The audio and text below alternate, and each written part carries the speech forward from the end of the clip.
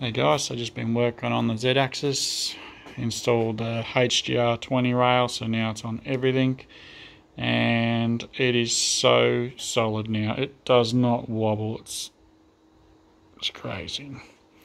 So yeah, it goes up and down easy still. Now I've got to get another spring, but still can't get the buttons yet. I'll wait till that opens up properly. Still only dummy wired the limit switch and I will put another limit switch so it can't destroy itself and I'll just hook it up to the e-stop. I'll do the same to every single axis. But yeah, you can see I've got the same bearings on the side. There again. And another two there. So if anything does fail, just swap the bearing. Don't have to keep all different types of crap. See you tomorrow. I'll um, hook up the e-stop and I might do some more limit switches, but I'll probably do cutting. Just want to do some more cutting.